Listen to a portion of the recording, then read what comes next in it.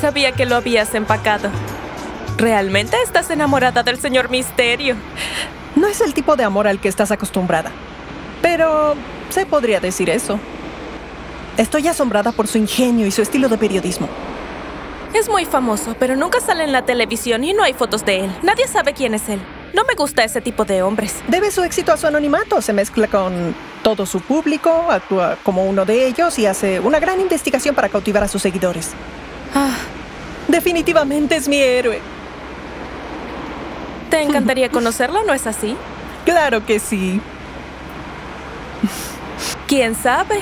Quizás lo hagas. Ya estamos cerca. Prepárate para ver tu casa.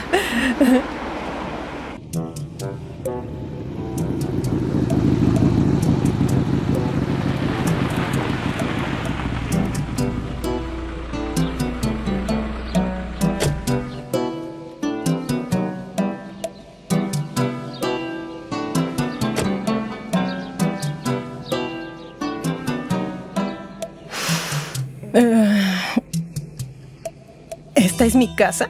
Así es. Te encontré una casa amueblada tal como me pediste, pero necesita un poco de trabajo. Oslem, vine aquí para escribir un libro, no para renovar. Te olvidarás de la renovación después de lo que te voy a decir. ¿Qué Escucha. ¡Sorpresa! ¡Eres la vecina del señor Misterio, ¿ah? No creo eso. Ah, juro que no te estoy mintiendo, amiga. Lo sé porque un amigo trabaja en el mismo periódico. Y te compré una casa que da a su villa. ¿Ah? ¿Estás diciendo la verdad? ¿Estoy diciendo la verdad? Esto es increíble. ¡Genial! Escúchame.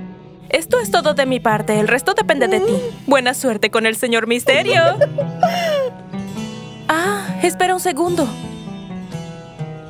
Olvidé darte esto. ¡Tata! ¿Para qué es esto? Ah, es para un mejor seguimiento. ¿Tú me entiendes? No puedo creerte, Oslem.